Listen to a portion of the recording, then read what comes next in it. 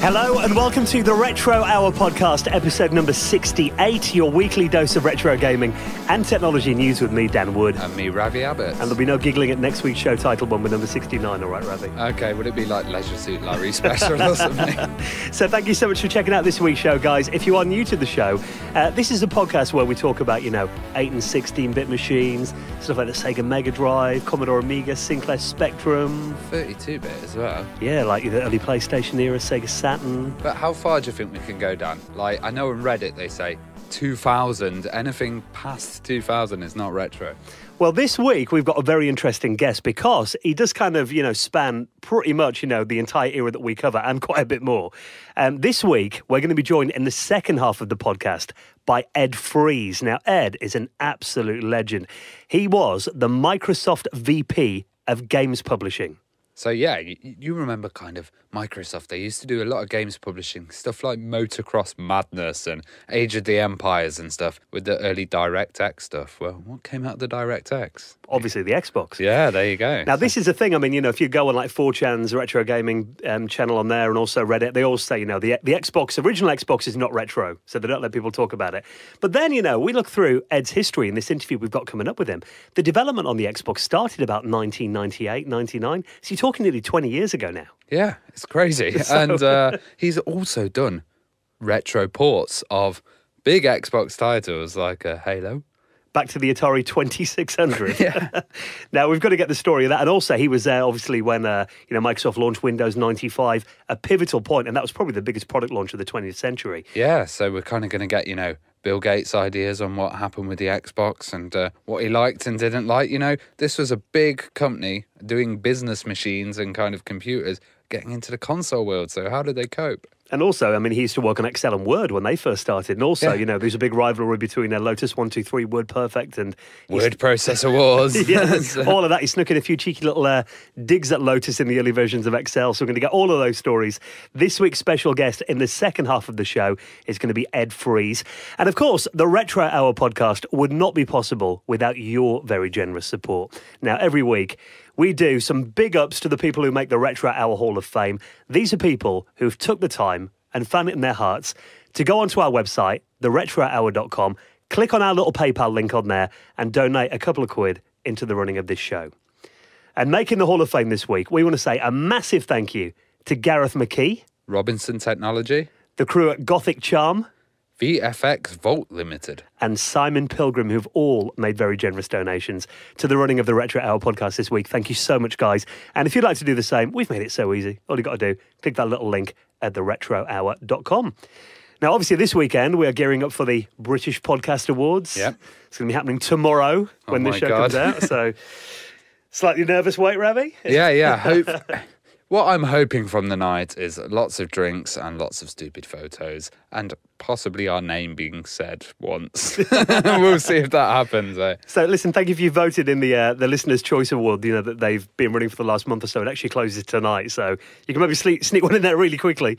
Uh, but you know, we appreciate all your support, guys. Whatever happens this weekend, we're going to go along, have a good time. And I know there are going to be some other retro gaming podcasts there as well. I think the guys from Retro Asylum are going to yeah, be there. Yeah, yeah, that should be good to pop along and see those guys. Because we always try and meet up with them, but for some reason we always Screw end up like up. Yeah. missing them, don't we? It's like it's hard because like there's there's about four or five retro shows that people go to, and depending on their location in the country, certain people go to certain ones, and it's it's hard to bump into everybody, you know. Yeah, and we're usually like six hours late or turn up on the wrong day. So. Yeah, on a Sunday usually. That's because yeah, we're working. Yeah. So good luck to everybody who's up for awards at the British Podcast Awards. Um, look out for no doubt lots of drunken pictures on uh, Instagram as posted by Ravi. Totally.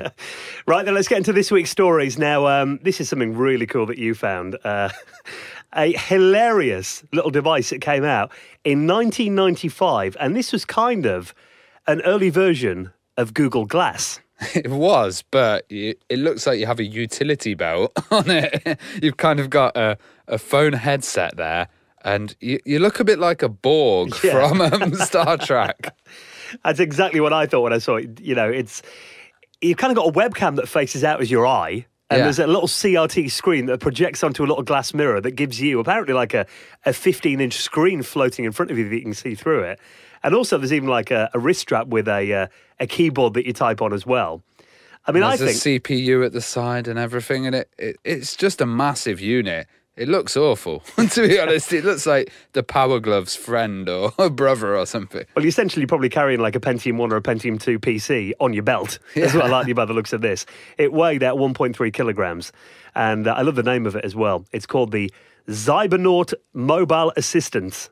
Oh, nice. So- and uh, how much was it, Dan? As well, I think they've, Um, they've got the cost on this. It went up to £13,000 if you want to own one of these. So obviously it didn't take off. But um, yeah, there's a really cool video of a guy demonstrating it. And he actually, he looks like he is a cyborg. Yeah, pretty much. And the kind of thing that I love about this is they've, they've done a nice image of this woman standing there, but they've kind of hidden the wire behind her back of her leg. She's got a massive wire trailing, so wherever you'd go, you'd have to make sure you didn't get caught on that wire. Yeah, it's not the most inconspicuous device ever made, is it? So. And I, I can imagine the battery power is shocking as well. But everyone says that you know a lot of people assume that wearable technology is quite a new thing, but obviously this was you know as stupid as it looks now, it was very groundbreaking for mid nineties. I still think Google Glass looks a bit stupid. I've not seen anybody walk around with them. Maybe Google Glass will be retro soon. I'm not. I think they did discontinue it about two or three years ago. Yeah, it hasn't been taken up, has it? From what I heard though, they actually they do still have a department who like kind of concentrate on it, but now they're kind of just selling it privately for uh, medical use. Okay, so like surgery and stuff like that. Yeah, but um, I wouldn't trust a surgeon with this. yeah, I'll take my chances elsewhere. Thank you. But if you look at these pictures, it is uh, you know a nice little uh, look at something a little bit left field, isn't it, from uh, the mid '90s? We'll put that in our show notes at theretrohour.com. Now, it's a website we've covered quite a lot on this show. Definitely one of our favourite sites, and uh, we hope to cover this more in a future episode. Archive.org. yeah, archive.org is a fabulous site. The Wayback Machine, you can go back on websites that kind of existed years ago and see what they would look like. They archive back to like 1994, 95, I think, on there. Yeah, yeah, it's crazy. And they've also got massive archives and repositories of like software and magazines. I think it's the biggest video archive in the world. Forget YouTube. This has more videos on it. Yeah, the magazines bit is incredible. I mean, you know, I, I go on there and pretty much every computer magazine that I used to read in the 80s and 90s, they've got the entire collection of most of them on there that you can download in PDFs and put them on your iPad. Yeah. And uh, like you mentioned, the software libraries now there is a you know you know the TOSEC project. They host all of those like the Commodore 64 and the Amiga. But Those, are, those are every single game on one archive. what they're trying to do, I mean, it's not just games; it's software, it's applications, it's demos, and every different variant of them as well. So if a game got hacked by like you know four different cracking groups, they'd have all of those versions in there as well. It's ridiculously big.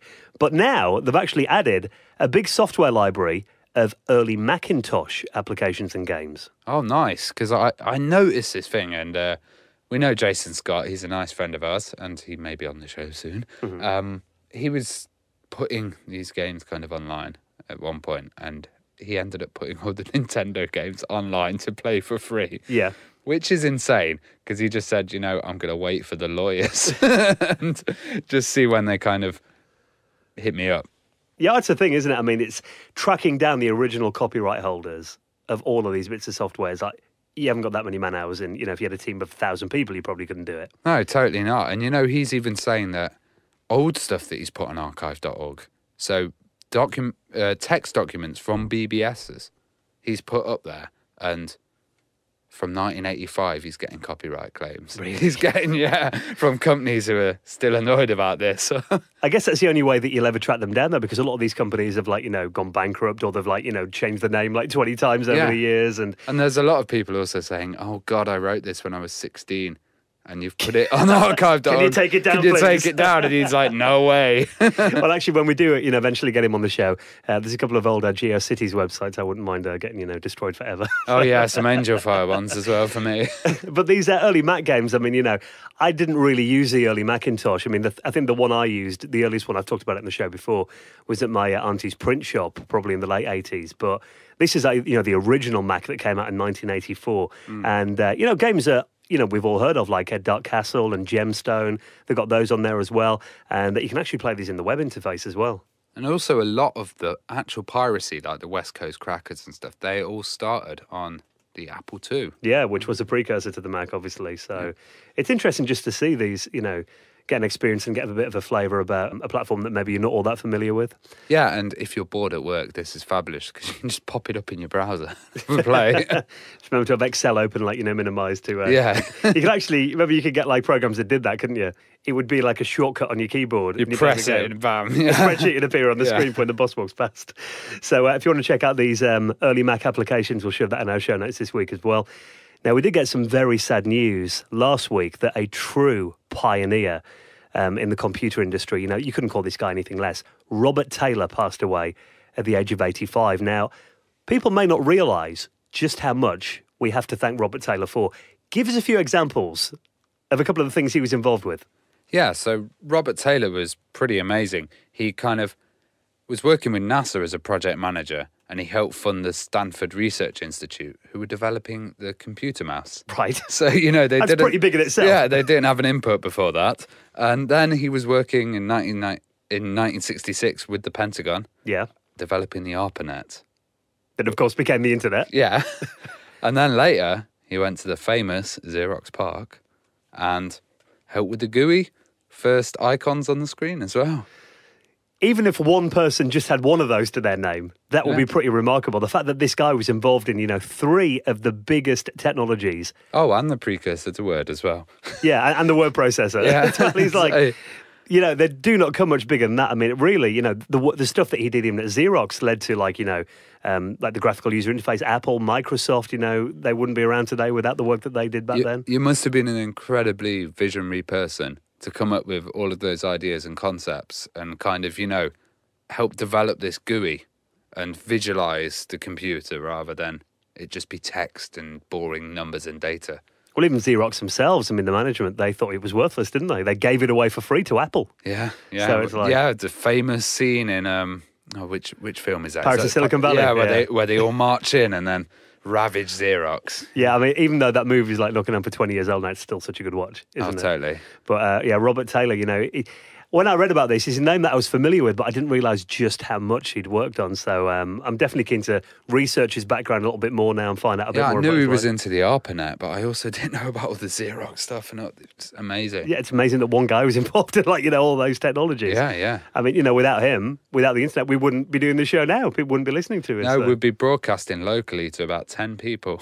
and we probably would have given up by now. We remember those days, really, don't we? so, uh, rest in peace, Robert Taylor. If you want to learn a little bit more about him, we will put some links in our show notes at theretrohour.com. So, thank you for checking out episode number 68 of the Retro Hour podcast. And we'll be out again next week, hopefully not too hungover from the British Podcast Awards. still. Let's see. Let's record the show later in the week next week. Yeah. right, so uh, we'll be available from all your favourite podcast clients. Please do keep your reviews coming in as well on uh, iTunes. Been a bit quiet on there again over the last couple of weeks. yeah, yeah, give us some good ones. Yeah, everything you know we get on any thumbs up, any comments on any platform always helps the show rise up the charts. And uh, you know we really appreciate your support, guys. So we'll see you again next Friday. And now for the next 45 minutes, let's get our geek on. Let's get back some early Microsoft history, Xbox development. Our special guest this week, Ed Fries, on the Retro Hour. And we'll see you next week. Yeah. You're listening to the Retro Hour podcast, and it is time for this week's very special guest, Ed Fries. Thank you for joining us. Hey, thanks for having me. Now, before we get into your fascinating stories, I thought it would be quite nice to kind of rewind all the way back to the beginning. So, what was kind of your first ever experience with a computer? Where did it all start? Wow, my first computer. I'm, you know, I'm going to have to go back to um, calculators. Can I say that? Yeah. Yeah. Uh, um, you know, my dad was an electrical engineer, worked at Boeing, and he would bring home these fancy uh, calculators, and they were pretty fancy. I don't know, they cost thousands of dollars, and they would read these little mag tapes, um, HP calculators, and so you'd slide this little magnetic tape through, and that would ha- have a, a couple hundred program instructions, and one of them was even a, a lunar lander game where you could pretend you were landing on the moon, which Wow. was something that was actually happening back then when I was a kid. So it made it extra exciting. But a lot of com- computer companies did start with, you know, calculators. I know, like, like I said, HP, Commodore, I think were in the calculator business as well, weren't they? yeah, and you know, um, my mom, she started as a chemical engineer, but then she went back to school when I was uh, about sixth grade. So about whatever that is, 12 years old. She got a master's in computer science, and then so she went to work for uh, a company called DEC, Digital Equipment Corporation. So um, she was probably the first one to bring real real computers home for me to play with. Did you ever go in and see like DEC mainframes and all that kind of thing then with your mom? I'm old enough that when I went to college, I went to a little school in New Mexico called New Mexico Tech. And the main reason I went there was they had a bunch of computers and they didn't have very many students. So it was really a great, a great place to, to go. Um, and uh, one of the things they had was a, was a big DEC 20 mainframe computer. Um, and so I did get to do some programming on that. So what was your first machine that you got your first like personal computer then? Yeah, so um, you know, you know, 1977 or so, um, the TRS-80 and the Apple II and and those uh, those machines came out, um, and I got to you know I would like get on my bike and ride to Radio Shack and I could play them for a few minutes before I got kicked off. But it really wasn't until um, high school, so starting around 1980, uh, the, the, school that I went to had uh, a set of Apple IIs. Um, and then, um, and then for Christmas that year, my dad got me an Atari 800, and that was really the computer that I spent a lot of time with when I was a kid. So, did you hang around arcades as a kid as well? I did, yeah.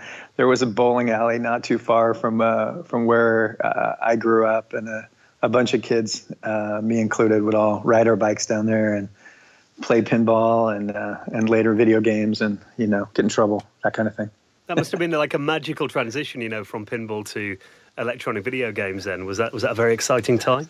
Yeah i don't know why. I was just uh, attracted to these machines. I mean they were they were kind of magical um, even even when they were pinball machines.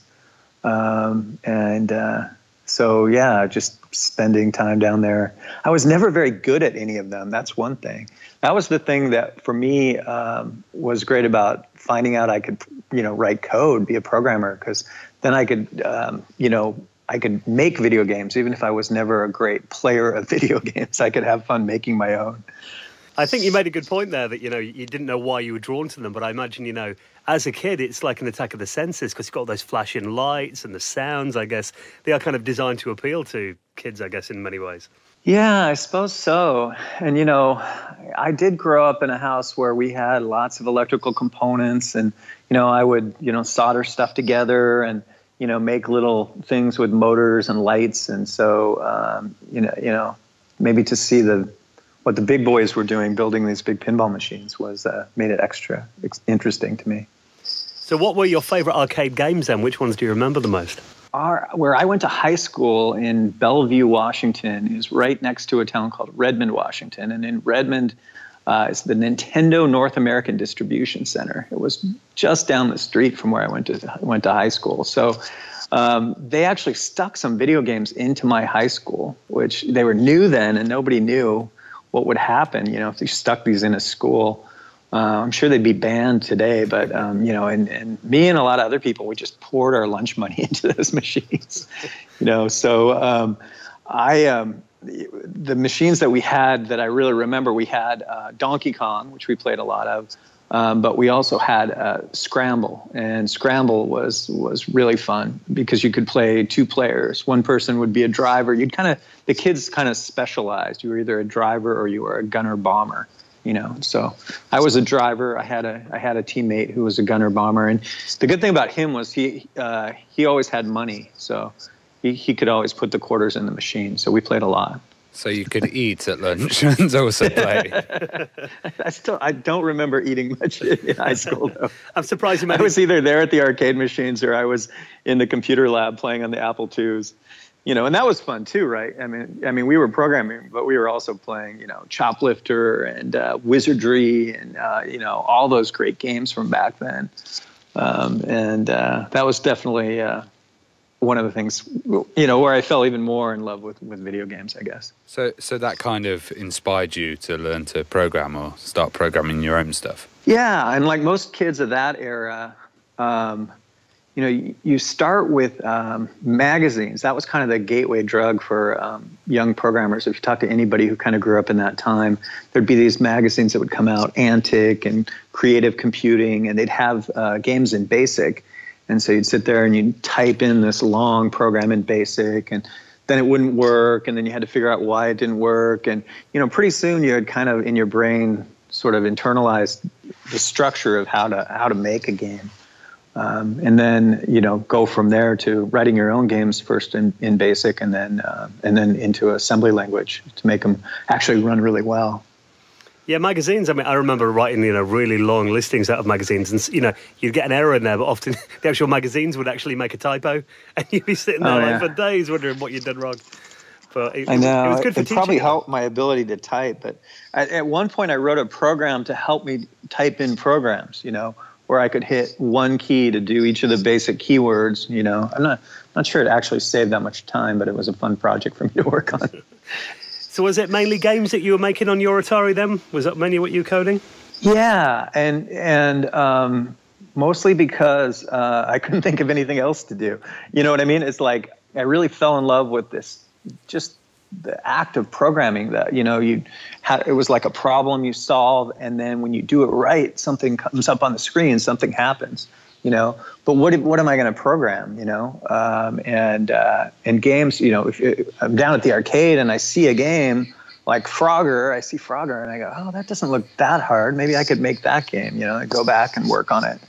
Um, and that was actually the, the first game that kind of got me into the real game business was uh, my version of Frogger, some, which I called Froggy.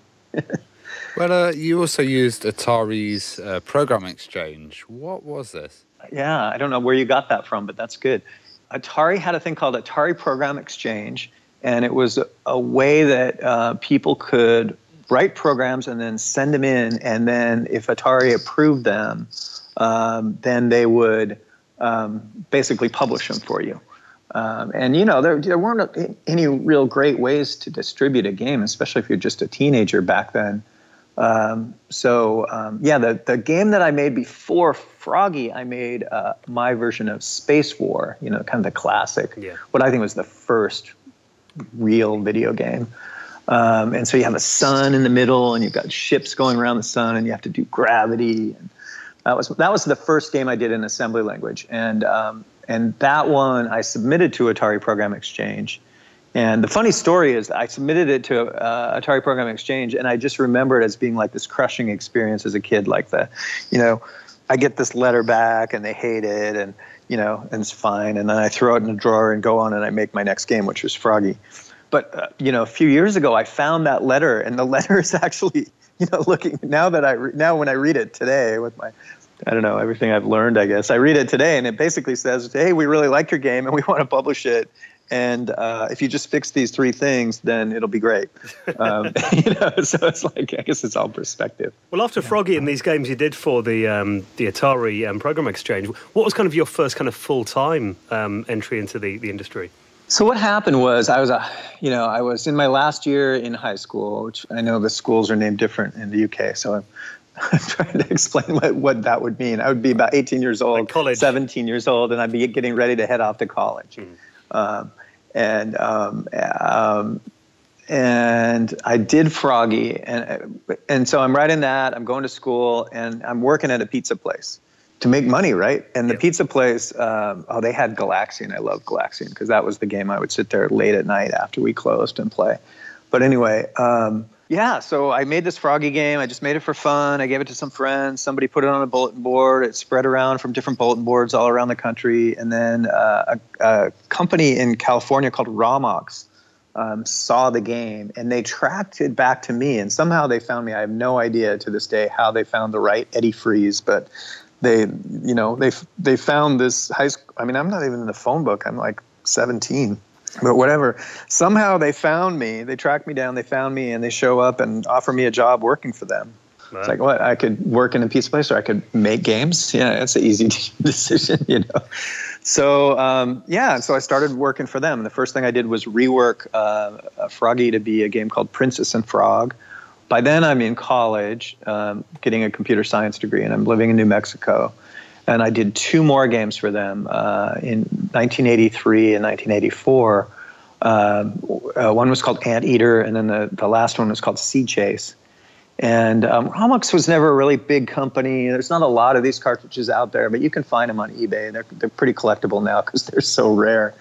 But anyway, um, and then 1984 happened, and you know, if you guys are retro podcast, you know what happened in 1984. The, you know, the whole game industry melted down, and um, and Romox went away. A lot of game companies went away, um, and uh, yeah, then I had to like find a real job for a while. That, that must have been was it a bit of a shock to the system because I know before that it was like it seemed like video games and the whole industry was in this kind of ascent, and then like you said, 83, 84, it all just collapsed in North America. I mean, you must have felt a bit lost, did you, at that stage?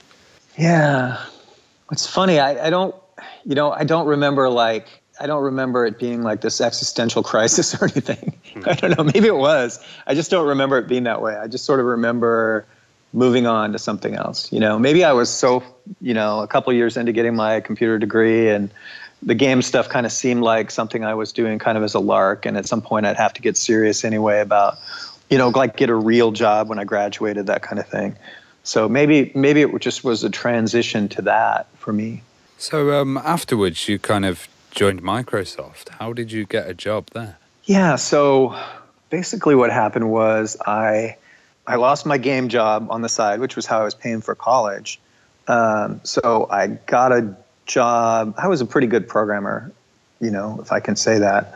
Um, I convinced the computer science people to uh, give me a job running one of the uh, machines, uh, running a VAX 750. So I became a system administrator running one of the uh, big VAX machines, which was fun. That's a machine that had like Rogue on it, for example.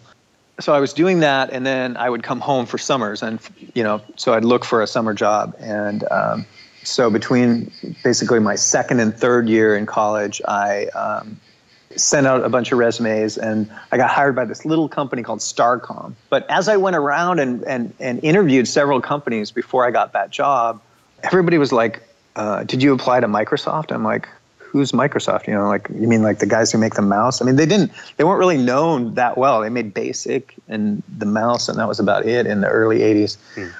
So the next summer, because so many people told me the summer before, the next summer that I should apply to Microsoft, the next summer I sent a resume to Microsoft, and they. Um, they immediately like flew me up to Microsoft, which was exciting. I got a free flight, and I got to get a whole day of job interview, and then um, and then they offered me a job. Uh, and so I worked there uh, that summer, summer of '85, uh, as an intern.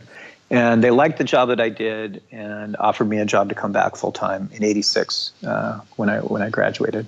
Being a recent graduate, what was the the culture like at Microsoft when you went there? Then was it like pretty serious, or was it quite laid back?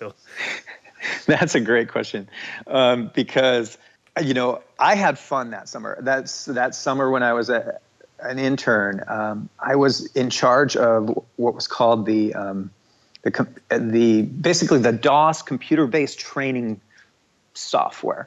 And so um, every DOS game that they shipped you know these character based games had a, a, fancy tutorial that went with it that taught you how to use it and took you through all these lessons and and and, and there was a, a group of writers and artists that created these tutorials using this internal tool um, and so they they didn't have anyone to deal with that because every all the all the real programmers were working on this new thing called Windows. So they were building a whole new uh, tutorial system for getting ready for the first release of Windows that happened at the end of that summer of '85. Um, and so uh, the intern gets the job of, of, of maintaining the old system. Well, that was awesome for me because I had my own whole thing I was in charge of, and all my customers were uh, artists and, and writers that were just down the hall from me. So they would come and say, "Hey, can you add this feature?" And I'd go and add it, and and they'd love it, you know. And to them, it was like magic, you know. So it was like being the magician in the group that could make stuff happen. They were happy, I was happy. But what was Microsoft like then? It was before Microsoft had gone public, and you know, all, a lot of people were, were kind of moaning and groaning. It was like, oh, we work so hard and we don't get paid that well and all this stuff. There was a guy, there was this experienced programmer, his name's CB Layerly. And I used to go to his office on Fridays just for fun. And I would just like I could just like set him off. You know, I learned after a few weeks that if I just said a few things, you know, like I mentioned the word Windows or something else, then he would just go off on a rant for like 30 minutes and I could just sit back and just listen to him rant about, you know, how screwed up things are and how unhappy he is and all that stuff. So anyway, so that was my experience. I personally had a good time there, but I heard a lot of grumbling and um, and so when I graduated, you know, um, I did apply to a bunch of other companies, um, and I got three different job offers, and I really considered hard about whether I should um, whether I should go back to Microsoft or not. You know, it was in my hometown. It was easy. And then my brother and sister and my you know mom and dad would be nearby, and and it was a place I already understood. It ended up being the easy choice, and so I, I ended up taking it. But I kind of felt like, oh, I'm, I'm making sort of the easy choice. Uh, I get back there, and it was like walking into a completely different place. Hmm. You know, from the time that I left that fall to the time that I was, you know, joining, that's the next summer. The company had built out their first corporate campus, these four beautiful buildings around this big pond. They had gone public, and all these all these programmers who were whining about, you know, being unhappy for you know being underpaid and all this sudden had made a ton of money on the stock options that they had had that they had thought were worthless. Um, so they're all walking around with big smiles and whistling, and I'm thinking, man, I got here too late. you know, 86, it's all over. you know, that's that's what it felt like. You know, but, in, the, uh, in, those kind of early days, was uh, was Bill Gates quite approachable? Did you have much interaction with him? Yeah, yeah. I, it's funny. I kind of had a similar amount of interaction with him almost the entire 20 years that I worked there. Um, you know, I, I, started as an intern and I left as a vice president, and but there were always you know two or three layers of management between him and me. And he was always an approachable guy. Like he would he would have all the interns over to his house uh, for for a party every summer and get to know the interns and. And that really never changed the whole time I, I was there. Um, so I knew him from the very beginning, and I would see him several times a year all, all through the time that I was there. But I was never, I, I never worked directly for him, which I think might he's he might be a little intense for that. I'm not sure I would have enjoyed that. Well, you started working on Excel and Word. Was it hard going up against, uh, you know, Lotus One Two Three and Word Perfect because they were so dominating at the time? You know, it was exciting actually because I mean there were just seven of us working on the first version of Excel for Windows when I joined, and it was really a different experience than my, you know, my summer internship. My summer internship, I was pretty much on my own, and I was, you know, a pretty confident, self-motivated programmer, maybe overly confident, you know. And all of a sudden, I was thrown on this team with some really excellent people, and I learned so much that that first year. Um, you know, I'm working on this big program. It seemed huge at the time. There were seven other, you know, seven people counting me that were all working on parts of it. Um, I was kind of the understudy to the what's, what's called the technical lead, who's kind of the lead programmer. And so I got to work on parts all over the program, and I got to learn from this guy who was who was super smart. His name was Mark O'Brien, um, and uh, it was great. I just I, I, only have I only have great memories of that time. The you know. Our, our manager was great. The team was great. The mission was great. We had this big, you know, from our point of view, kind of lazy, old, successful company out there, and we were the young upstarts. And there was just seven of us that were going to beat them with this make a better product. You know, what else could you ask for? I mean, it was really a great situation, you know. And over time, we did beat them, and that was uh, that made it made it really fun. You could tell that you had, you know, you guys had attitude because you even put like a, an anti-Lotus Easter egg into Excel. well, what happened there? So that's a few years later, a few ver- versions later. You know, we were. You can tell we were focused on. I mean, Lotus was. You know, when I joined Microsoft, Lotus was bigger than all of Microsoft. I mean, Lotus was the number one software company. Microsoft was number two. So they are. You know, if we could beat them with Excel, it would be really important. Um, and and so we were always focused on them. They were the enemy. You know, when I said it, when I graduated from uh, from college, I sent out resumes to a bunch of people uh, I sent one to Lotus and I got a rejection letter from them. And, and so that was kind of a prized possession. I would keep that up, on, you know, on, on my wall as I worked. I could look up and see, you know, the, the, rejection letter from the people who from Lotus. These are the guys I want to beat, you know. But it, but to answer your question about the Easter egg, every version of Excel had Easter eggs. You know, after a few years, I became the technical lead. So I was like, now I'm the lead programmer. By then, there's 50 programmers working on this team. It's a lot bigger. And yeah, one night I had this dream, and in my dream, there was a box of Lotus 123, and it shakes, and then it just kind of starts to break apart, and bugs crawl out and crawl around the box. And so, uh, you know, I came into work that next morning. I'm like, I know what our Easter egg's going to be. And so, so we, we, we made that the Easter egg for that version of Excel. Were they pretty laid back about that kind of thing, or did you just keep it quiet? I would say pretty laid back. Um, there, it, there was always uh, sort of a plausible deniability. Like there would be a big routine in the code that said Easter egg, you know, and it would be, you know, all the code to be to do the Easter egg. But but then the, the the deniability came. There was never you never see anywhere in the rest of the code a call to that function. There was never anywhere that called Easter egg. And so you could say, well, yeah, we have the that, but it never gets called. You know, look through the code yourself. Well, there's tens of thousands of lines of code, maybe millions of lines. We always had a really clever way that we did that we that we ended up calling this routine. So it was always hit the, the call was hidden, even if the code was right there in plain sight. I remember um, the Easter eggs at Excel keeping me entertained in IT lessons. like, oh, look, you can do this. Wasn't there like games in some of them, wasn't there? Yeah, yeah, yeah. After I moved from there to Word, they get they just kept getting more and more complicated. They did a flight simulator in one. They did they did kind of a Doom clone in another one. So they were they were always doing fun stuff. Well, obviously, in the mid '90s, I mean, you had, you know, arguably the biggest change in, uh, you know, technology in the in the '90s was the release of Windows 95. I mean, what was the mood like at Microsoft when that was released? You know that I remember as being, uh, it was like flipping a switch. It was like night and day. I mean, before Windows 95, let's say I'm I'm riding on an airplane and the guy next to me says, "What what do you do?" And it's like, "I work at Microsoft." They're like, "Who's that?" Well, you know, nobody nobody knew who the company was. And I swear, the day after that Windows 95 released, everyone knew who Microsoft was, and all of a sudden it was like this big kind of famous story. I don't know. It, it just it, it, it really it was really a big turning point for the company. I can't I can't stress how important it was. And you know, the launch was really big, and Jay Leno was there, and he did this big thing, and I don't know. It was just all these things all happened all at once, and all of a sudden Microsoft was just a household name. Well, even though you're working on you know these uh, serious applications, I mean, did you still hold your interest in games during this time? Yeah, I was. I mean, you know, that's the the two things that that I've I've been in love with since I was a kid is programming and and video games. And so, yeah, you know, I'd be I'd be at work working hard on a spreadsheet, and then I'd come home and uh, I'd play all the latest games. Um, you know, and there were fantastic games during that time. So many so many genres were invented in the early '90s. Uh, you know, uh, you had the first real time strategy, you had the first uh, first true, you know, PC first person shooter, first survival horror game. Uh, you kind of kind of go on and on and on with the games that came out then. Uh, it was really when the the genres were first established that we live with today.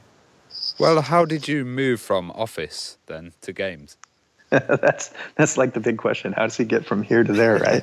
so, you know, I mean, I mean, part of it was I was, you know, as I was kind of getting promoted in Microsoft, I got to the point where um, where I was going to have to give up, you know, the thing that I loved about my job. I mean, you know, I think I was an okay manager. I could, you know, I could do that stuff but I didn't really enjoy it. I mean, what I enjoyed was programming. And, you know, I got to the point where I was going to have to basically be a pure manager.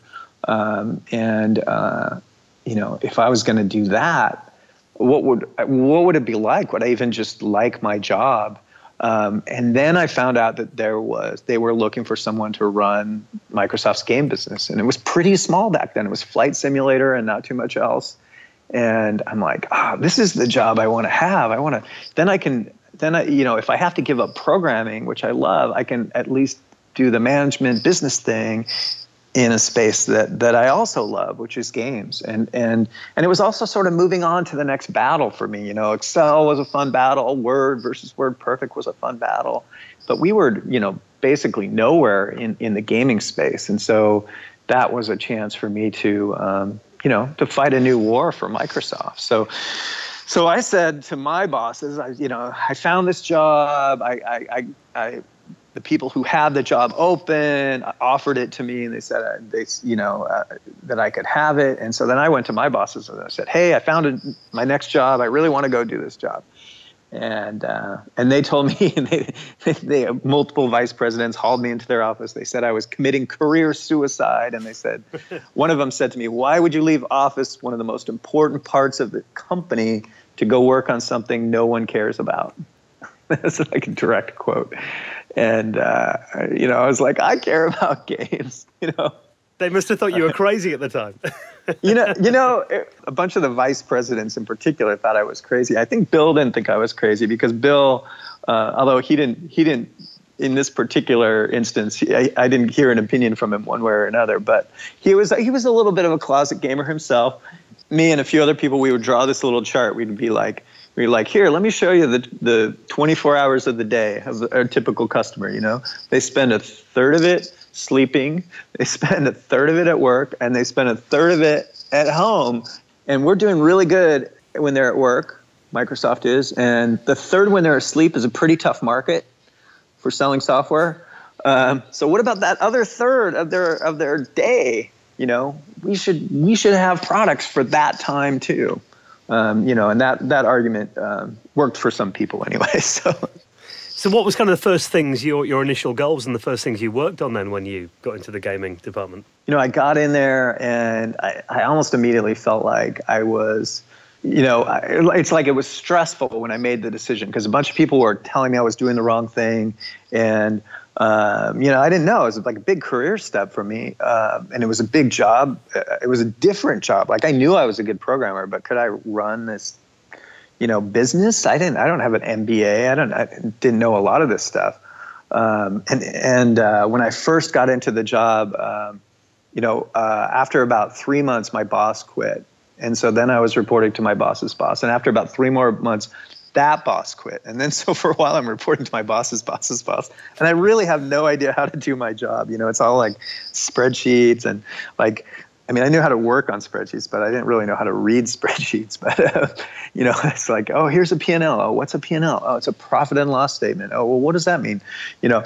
Anyway, and you know, people were coming into my office asking me to make decisions. Oh, we need a million dollars to do this new game. It's like, you know, I go to my boss. It's like somebody just asked me for a million dollars. What do I do? You know, and, and my boss is like, well, you know, if it's under this certain amount, which back then was about $5 million, they said it was basically up to you. Look at it, get all the information you want, and then make the decision. I'm like, okay.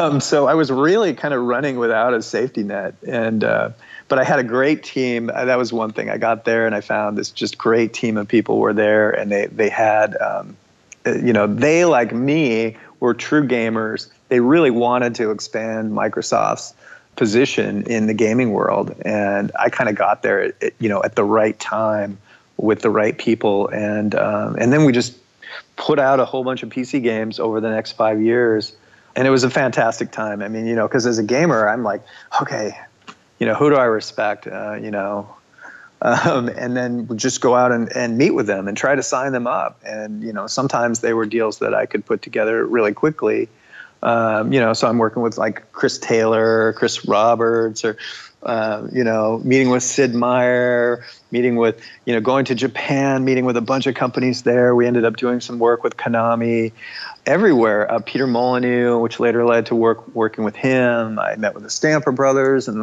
later ended up working with them. You know, it just kind of was like, I mean, what would you do if you're like a, a gamer? Would you just go to all the developers in the world that you really respect and try to put deals together with them. I mean, like a kid in a candy shop, yeah.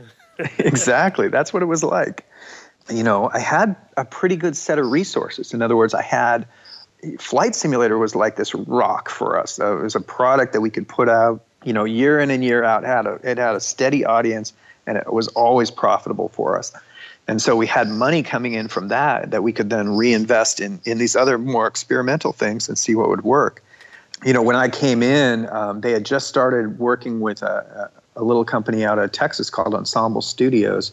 They were making their first um, real-time strategy game, you know, and I was a big, uh, you know, a Dune 2 Command and Conquer player, and so I that was probably the game I was most excited about when I was first interviewing over there, seeing that, that they were going to do their own real-time strategy game, and you know, we put that game out the next year. Um, it, it was called Age of Empires um, and that became a huge franchise for us. And so that between Flight Sim and Age of Empires, um, you know, those were sort of our two rocks for building the PC business going forward.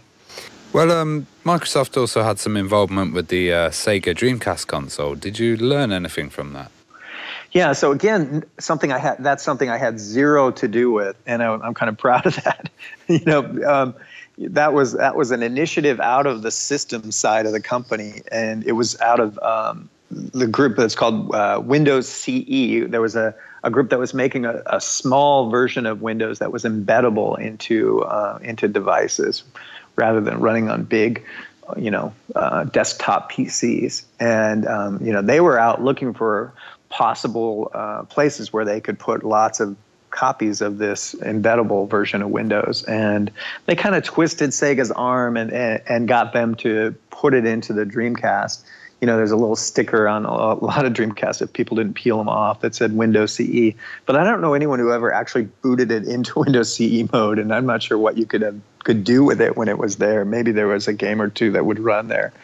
You know, I, I do remember them coming to my group at that time and asking if we would make um, some games for it, and I basically told them no. Um, you know, we were very focused on the PC market at that time. We were growing our market share in PC. Our, you know, we were thinking of our competitors as being people like Electronic Arts. You know, that's somebody that we really looked up uh, up to, and and so we would compare our market share to theirs, and and, and try to beat them in certain categories, including including uh, racing and sports where they were really strong. Well, he did touch on obviously the next part of this story, which is the Xbox. So, when did the idea of coming up with a Microsoft console come about then, and how did you become the, the lead on that?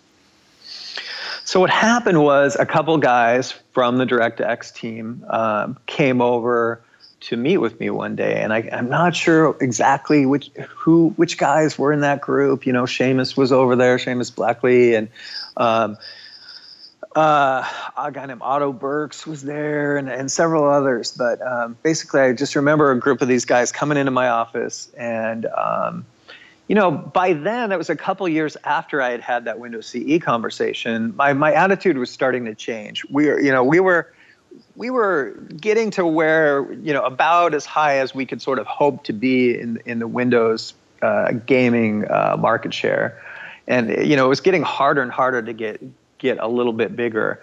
Um, but console was just this wide open world where that where we had no presence at all. And um, and you know by then we had kind of established ourselves at least as PC game makers you know could we take those skills and apply them to console? But console seemed so different. And so you know we knew so little about it. It just seemed like a big stretch to get in into it. And then these guys walk in my office and they say to me basically hey we want to build a console you know, we're from the DirectX team. It's basically the DirectX box, but we'll, we just call it Xbox for short. Um, and what it's going to be is going to be a PC on the inside. So it's going to be exactly like the system that you and all your developers are used to developing for, but it's going to behave like a console. It's going to have the user friendliness of a console you know, no more installing games and dealing with all this operating system stuff that breaks all the time. You know, it'll just be like a consumer appliance. You turn it on, you put in a disk, and it plays. Behind the scenes, it'll be running Windows. It'll install the thing, but you just it just won't show you that it's installing it. And from the the consumer experience, uh, will be just like a game console. And so that was a very appealing idea to me because it was like, okay, wow, we could just take all, all our PC franchises and we could just put them over. You know, we could do Flight Sim on this thing. We could do, um, you know, Age of Empires on this thing. We could do other stuff that we're doing on this thing, which is incredibly naive point of view and not where we ended up at all. But they were naive in this whole like thing they were proposing too. So anyway, that was, but that's how you know ideas start. You know, they usually like start wrong and then they sort of evolve with time and and experience, hopefully um, to get to somewhere where you're it's the actual product you want to build. So there was no kind of idea of this multimedia home entertainment unit as well. You know that whole multimedia thing was never at the core of Xbox. That was real. That really came in from marketing people later who got involved who were were not really gamers, and you can tell that. You know, that was all that messaging always fell flat with gamers, and we were like, "I told you it would would fall flat." You know, like you know the the core the core people building um, you know, first evangelizing it, people like Seamus, big gamer, um, you know, Jay Allard on the system software side, me, me on the game side. You know, we were all we were all gamers. We didn't we didn't want to use it to um, watch movies or other stuff. I mean, that was a bonus, right? If you could have it as a DVD player, but it certainly wasn't what we thought the core function of the machine was. Well, as the Xbox idea developed, um, I heard there was one stage where you had a pretty brutal meeting with Bill Gates on uh, on Valentine's Day. what exactly happened there? Valentine's Day Massacre. That's what the meeting came to be known as. Here's how here's how I remember it. I've seen I've seen it told several different ways now, and I still think mine is the what really happened. But anyway, so actually, so I have to step back a year. So go back a year. Basically, I teamed up with this DirectX group and tried to help them uh, push forward this idea of this console that really runs Windows, that's really a PC, blah blah blah. At the same time, there was another competing group within the company that that was the continuation of that uh, Sega Dreamcast Windows CE group. And they their proposal said that our proposal was totally wrong. They said no, we should build a custom device just like a PlayStation One uh, that only runs games and it's you know custom operating system, custom, custom, custom. So anyway, those two groups rose all the way up to the very top of Microsoft. They each had their own group of vice presidents surrounding these ideas, kind of in Microsoft fashion. And then they got all the way up to Bill and Steve, and there was a big battle, and we won. Um, and and we won basically because um, we being Xbox won because our plan was more on strategy. It was a more of a Microsoft plan, okay? Because we were running Windows, which so we were leveraging other things inside the company and blah blah blah. After that, after we won that meeting, won uh, the, that Windows CE group kind of got broken up, and some of some of the people came to work in, in, in Xbox and contributed to that. Anyway, we went off and we spent a year really looking at the problem. And over that year, our point of view changed quite a bit on a bunch of these things. And we drifted somewhere back more towards the middle between those two extremes of it's really just a PC running Windows and and the other side which is it's this pure custom thing. But we we drifted pretty far, you know, away. So to by the end, yeah, maybe there's a little kernel of Windows in there, but it's not at all running Windows. But it still has an Intel processor. The basic architecture is still a PC architecture. It still has a hard disk, which is something we had in the plan from the very beginning. Blah blah blah. Okay, so you got to understand all that before you go into this meeting. So the meeting was the first time we basically presented to Bill and Steve this year worth of of work leading up to to making this this machine. And it was when we were going to get final permission to go forward and spend a lot of money, um, you know, hundreds of millions of dollars. So, so we go into the meeting, and it's a big, important bill meeting room, and um, you know we're all sitting around the table. It's probably 20 people in there, and Bill walks in and he throws our PowerPoint deck. He's got a printed copy of the PowerPoint deck. He throws it down on the table and he says, "This is an insult to everything that I've been involved with at this company. that was like the opening of the meeting. It was like, whoa, you know, and and you know, a lot of us had worked with him over a lot of years, and we had seen him kind of go over the top a little bit, and you know, but but still, it was that was like okay, and, and you know, so that happened. So and we knew why he was mad. He was mad because we had told him it was going to run Windows, and he had just found out that it wasn't actually going to run Windows. And so some of the whole reason that he had picked our team a year before were now gone. We all looked at Jay Allard because he was in charge of the operating system, and uh, and Jay doesn't look kind of like a deer in the headlights after Bill had said that and you know, in a sort of dramatic fashion. So then I tried to say something, being the other kind of technical guy in the room, and uh, and Bill shoots me down, and then and then my boss Robbie Bach tries to say something, and and Bill yells at him, and then by then Jay's got his legs, and Jay argues with him, and then he yells at him, and it just kind of goes back and forth like that for hours, you know, and then Ballmer starts to join in, and Ballmer because Ballmer's looking at the business plan, and the business plan says we're going to lose a lot of money over the over the next five years of this project. It's going to cost a lot of money. We're not going to make that much money, um, and um, so he's yelling about that, and and um, Bill's yelling about the technical stuff like he often does, and and um, you know it just we, you know, it was four o'clock on Valentine's Day. It was five o'clock. It was six o'clock. It was seven o'clock on Valentine's Day. We're basically just saying the same thing over and over again. We're like, hey, we looked at this for a year. We're very confident that if you want to go into this business, this is the plan to do it. We agree with you. It's going to cost a lot of money. That you're not going to make a lot of money. We agree with that. But we we're quite sure that if you want to do this, this is the way to do it. And, and we just basically say variations of that over and over and over again. But anyway, it's seven o'clock. It's heading towards eight o'clock, and we're all, you know, we're all looking at our watches because we have like dinner reservations that we've missed, and you know, we're all in trouble with our spouses at home, you know, because we're stuck in this meeting from hell where we're getting yelled at, you know, by the two most powerful people in the tech world. And so then like right around I don't know, it seems like it was right around eight o'clock at night. This one guy, Craig Mundie, who'd been very quiet up till then. Um, Craig had sort of this conspiracy theory that Sony was slowly taking over the living room and sort of infiltrating the home through a series of products that if any one of them you looked at by itself it might not be much of a threat but if you imagine them networked together you could almost kind of see that they had sort of put a pc together by putting different little parts in each of these products that were all becoming popular in people's houses and and his point of view was that that was a real threat to Microsoft and Microsoft's ability to get out of the home office and spread out to other places in the home. And he, and he had sent many memos around, uh, you know, for, for months or even years about this. So he didn't need to say all that. All he said was, what about Sony? And um, Bill repeats it. Bill says, yeah, what about Sony? and then Ballmer repeats Bill, you know, what about Sony? and they look at each other, and there's kind of a pause, and then Bill says, we should do this. And Ballmer says, yeah, I, I agree. We should do this.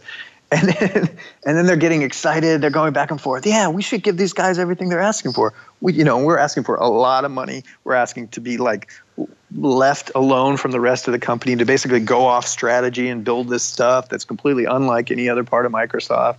To be like have the freedom to not be part of the rest of the company and to do things the way we want to do them and all this stuff. And they're like, we're gonna we're gonna do this. We're gonna give you guys everything you're asking for. Um, you you guys should go do this. You know, we we're gonna give you everything. Go do it. And that part of the meeting lasted about five minutes. Okay, and um, and we walked out of there. Uh, my head, I just my head was spinning. You know, I just and I turned to to Robbie and I just like that was the weirdest meeting I've been in in 15 years in this company. you know, that was that's what I said to him. You know, but that was that was the start of Xbox. And then uh, you know, a few months later, uh, you know, Game Developers Conference, Bill was up on stage showing our prototype and announcing to the world we're doing Xbox. And and from then it was just a mad sprint. Less than two years between then and when we launched in uh, 2001.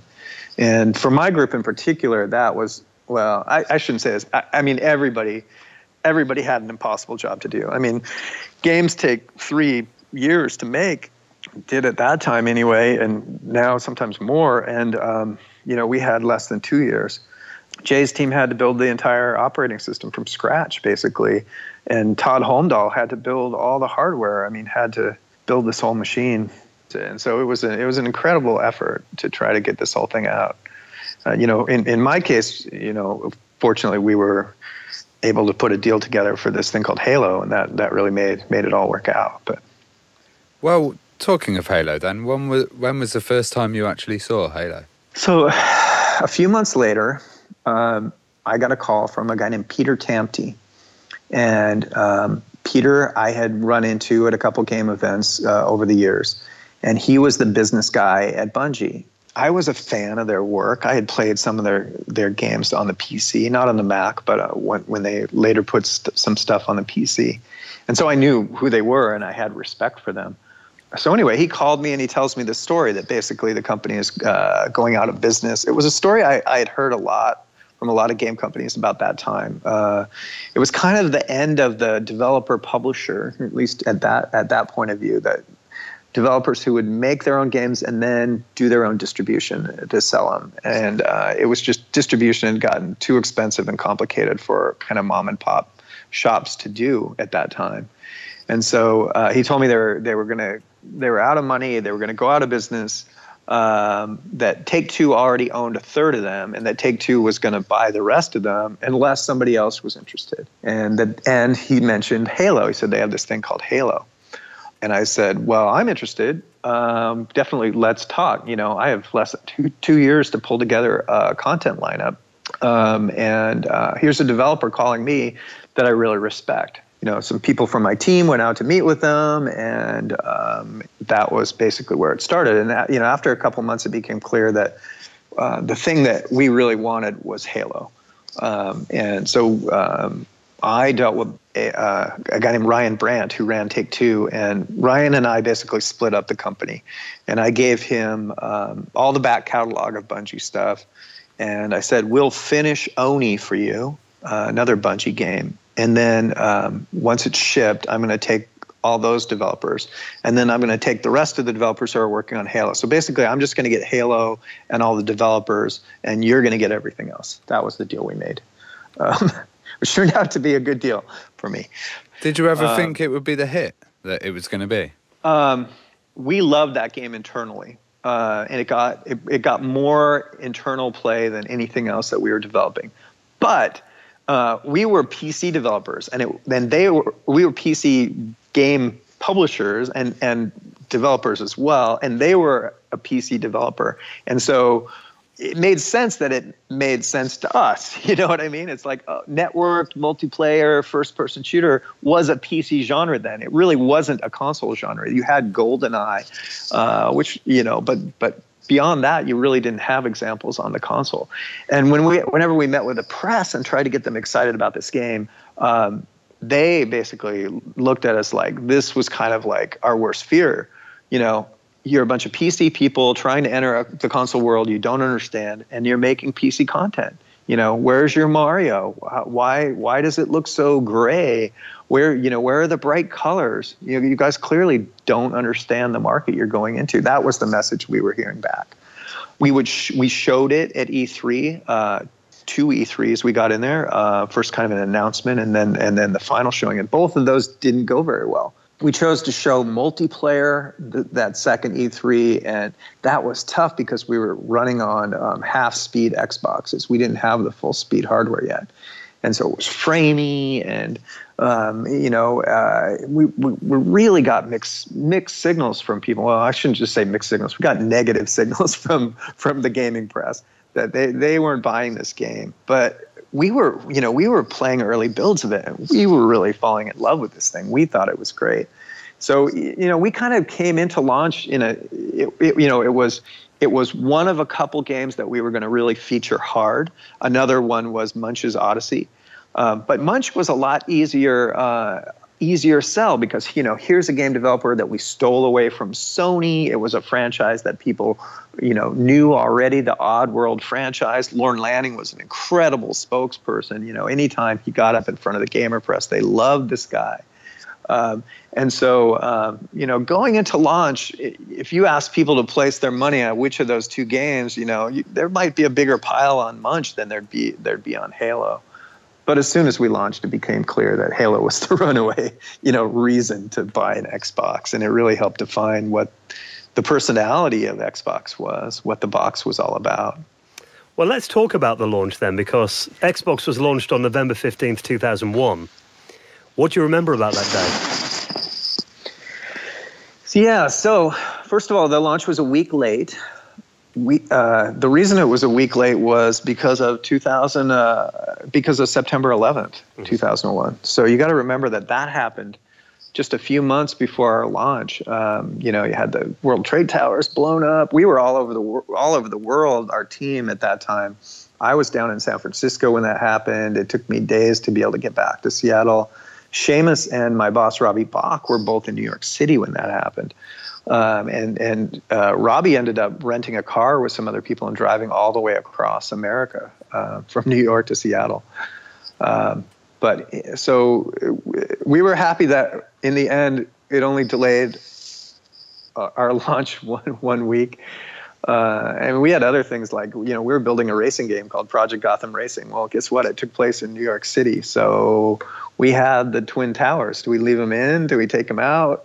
Um, you know, we're dealing with PR crisis. The you know the the uh, the terrorists had used Flight Simulator, our product, to train for this thing. Anyway, it was it was that was that was a dark shadow over those last few months. Uh, but by the time you know we got to launch, everything was buttoned up, and we were really happy about it. And we basically had a big launch event uh, in New York City. Um, and so that's I was out there, and Robbie was out there, Bill Gates was out there, and it was in Times Square. Um, there was a, a, a, new Toys R Us that that hadn't actually opened yet, but it was right there on Times Square, and so we had made a deal to uh, use that to give out the very first uh, Xboxes, to sell the very first Xboxes, and we had bought out all the big signs in Times Square, all the electronic signs, and so I just remember, you know, walking over to the midnight launch of that and seeing Xbox up on all these signs, and there was, you know, a huge crowd of people. But because it was so close to September 11th, the p- police were freaking out. They had all these rules that you couldn't have too many people in any one spot at any time, and they were so they were letting making our line, you know, letting us only have so many people in line, and then we had to have people other places. And anyway, it was just this weird kind of combination of of, of things. And then at midnight, you know, I didn't have anything I actually had to do, but I got to be there and watch. You know, Bill sell the very first Xbox. Um, Seamus, being the showman he, he, he was, uh, uh, proposed to his wife, uh, Van Burnham, that night, um, and uh, it was just a it was just a wild, wild night, um, and uh, just a great a great way to um, celebrate all the hard work that we had done over the years coming into that moment. Well, to kind of sum up and honor that, you um, did a demake of Halo for the Atari 2600. yeah, we're running out of time. We gotta gotta get to that.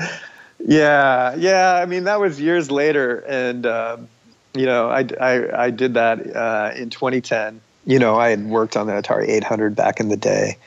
Kind of in, in late 2009, I was at speaking at a game conference, and I had mentioned working on the Atari, and somebody came up to me afterwards and said, "Have you seen this this new book?" called Racing the Beam. And uh, I hadn't, so I read this book, and it's all about working on the Atari 2600.